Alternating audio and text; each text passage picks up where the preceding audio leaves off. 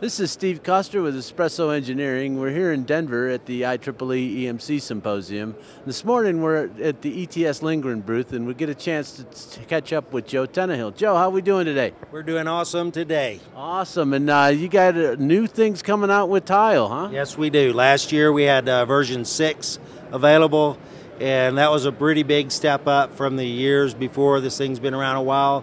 So now we're getting ready to crank it up into the next level We've uh, improved a lot of the user interfaces, things that we've been uh, asked of our customers.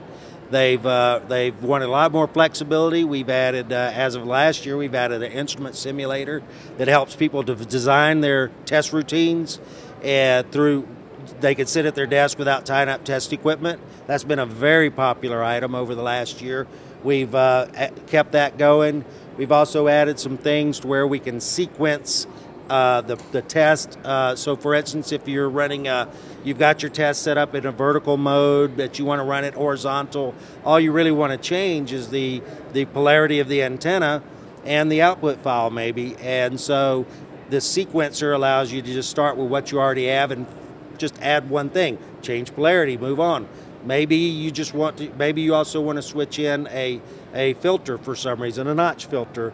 So while you're running your test, we can sequence the thing to add the notch filter in or pop out and save something or go talk to the, to the EUT. So it's been a really, uh, we've got great feedback during this show this year. We had a users group meeting yesterday morning and just great reviews. We're really proud of what we've done with the software and the new features. And uh, please give us a call sometime or send us an email if you want to get more information on it. Super. And they would send them right to you? Right to me, Joe Tannehill. That'd be at etslindgren.com. Very good.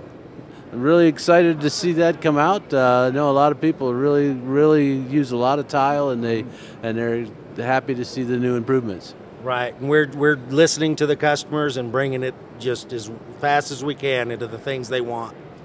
Great. Thanks for showing us around Tile. Uh, sure. Steve Custer from Espresso Engineering saying, see you later.